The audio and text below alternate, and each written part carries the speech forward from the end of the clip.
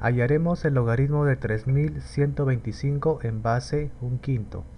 Como no sabemos a qué es igual este logaritmo, le vamos a llamar un x. Y ahora vamos a aplicar la propiedad de los logaritmos.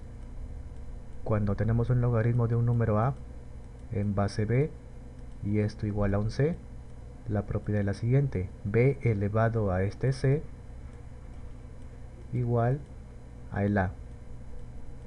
En nuestro ejercicio el un quinto es como si fuera b 3125 es como si fuera A y el X es como si fuera C. Entonces aplicamos la propiedad. Sería un quinto elevado a la X. Entonces colocamos acá ese un quinto. Como es una fracción, le coloco paréntesis y le pongo acá el exponente X. Y esto es igual a 3125, aplicando la propiedad que hemos puesto. Ahora, como no queremos fracciones y hay una propiedad así.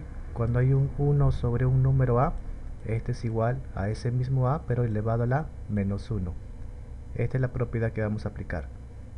Entonces, en vez de un quinto, vamos a colocar solamente el 5 elevado a la menos 1. Y está con exponente x. Igual, 3125 podría ser 5 elevado a algún exponente. Vamos a descomponer este número. Vamos a descomponer entonces aquí a ese 3125. A ver, vamos a sacarle quinta. ¿Cuál será la quinta de todo este número? A ver, el 3 es muy chiquito para sacarle quinta y entonces lo juntamos con el 1 y sería 31. 5 por 6 sería 30. Como que era 31 me sobró 1 y ese 1 con este 2 se convierte en 12. Ahora 5 por 2 es 10 y para llegar al 12 me sobró 2 y ese 2 se junta con este 5 y se vuelve 25 ahora 5 por 5 25 quedó exacto. Así se saca quinta o también lo pueden dividir a este número 3125 entre 5 igualito va a salir 625 otra vez quinta. A ver con el 6 5 por 1 es 5 así que me sobra 1 y ese 1 con este 2 se convierte en 12 ahora 5 por 2 es 10 y como era acá 12 me sobró 2 y con este 5 se volvió 25 ahora 5 por 5 llegó exacto ese 25 sacamos otra vez quinta. La quinta de 125 es 25 está más fácil. La quinta de 25 es 5 y la quinta de 5 es 1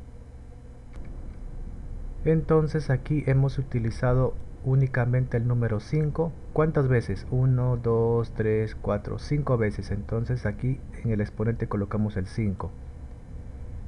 Acá en vez del 3125, por lo tanto, vamos a colocar ese 5 elevado a las 5 que nos ha salido acá.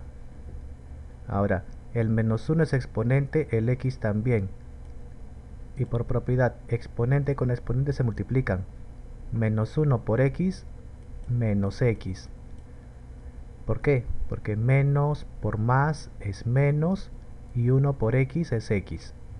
Igual, acá baja 5 elevado a la 5. 5 se elimina con 5 porque son iguales y finalmente quedó menos x igual a 5. Pero nosotros queremos x positivo, ¿verdad? Entonces este menos x lo podemos pasar al otro lado y este 5 para este lado para que cambie de signo. O si no, más fácil, multiplicamos por menos. A ambos lados. Menos por menos es más, o sea, más x. Igual. Menos por este más que está acá, que no se le ve, pero está invisible este más. Menos por más es menos 5. Y ya está. x es igual a menos 5 y como este logaritmo, todo este logaritmo era igual a x, entonces todo este logaritmo es igual a menos 5 y con esto termina el ejercicio